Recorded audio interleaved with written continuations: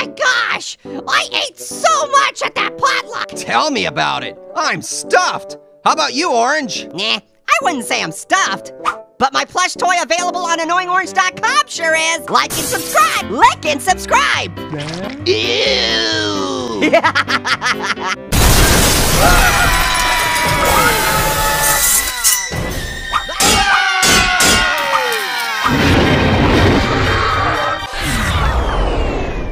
about that, friends. I see you've met my prototype robot illustrating discrete energy, or as I prefer to call it, pride.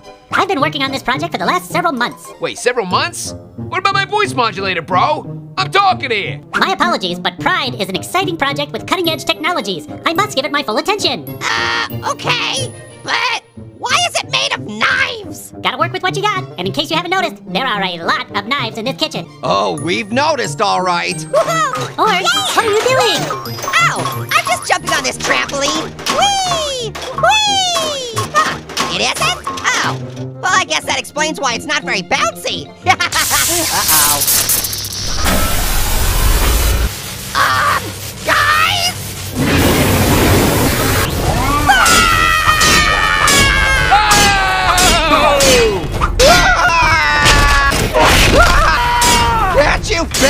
Fix it? If it were a normal computer, yes, but this robot is powered by a quantum computer. The code is far more complex.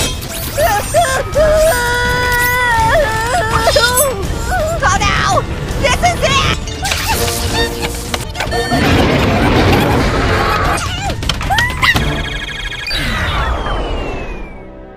Marshy? How did you do that?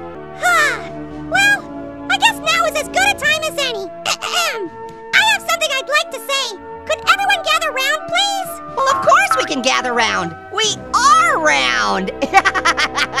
Okay, so there's a good reason I was able to stop that robot. It's because quantum computers are non-binary. And so am I. Hold up! Is this actually happening?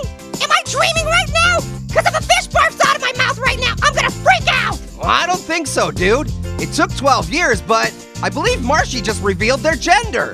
Is that right, Marshy? It is. And thank you for correctly using my they/them pronouns. Um, so I obviously know what non-binary means, but uh, perhaps Marshy could explain it for all of the rest of the uneducated people.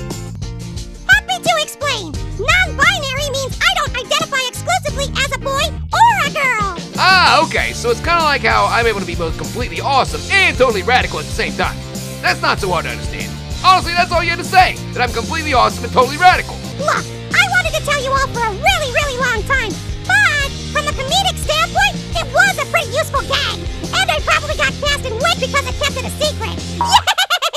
Well, Marshy, I think I speak for everyone when I say we're glad you told us, no matter how long it took. Yeah, that's right. We love you, Marshy! I love you all too.